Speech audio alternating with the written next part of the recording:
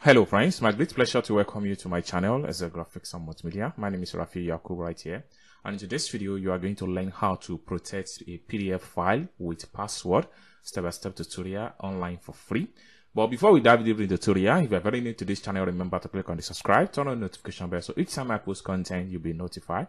So without being said, so let's dive into the tutorial and see how you can protect your PDF file with password step-by-step -step tutorial for free.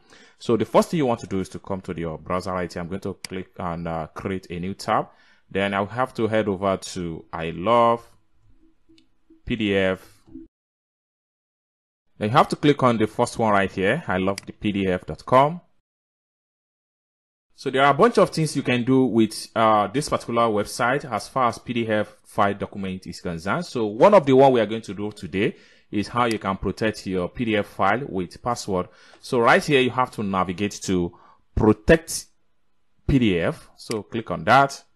Then take you right here. So the next thing you want to do is to bring in the PDF file. So just click on uh, select PDF file or you can click on uh, Google Drive to bring in the PDF off from your Dropbox. So right here, I'm going to bring the PDF from my desktop. So I'm going to click on uh, select PDF file. So right here, I'm going to use this particular PDF right here and I'll click on open. So at this point here, this is where you need to type in the password you would like to use to uh, protect this particular PDF right here. So I'm going to enter my password right here.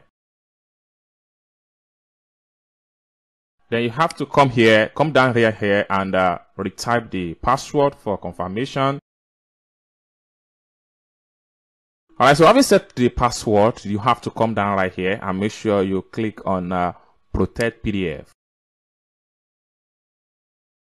So immediately it's done, convert, uh, protect the password. You can click on this download button right here to download your file or sometime you can come down right here. You see your download folder. Immediately you uh, it convert uh, immediately it protects it with password. So by the time i click on the download folder right here so let's check the uh, the pdf so right here you can see it's going to ask you to submit the log uh, password before you can access the document. So this is how you can protect your pdf file with password step-by-step -step tutorial. I hope you really enjoyed this video if you enjoyed this video, give this video a big like and also don't forget to subscribe to the channel for more tutorial like this.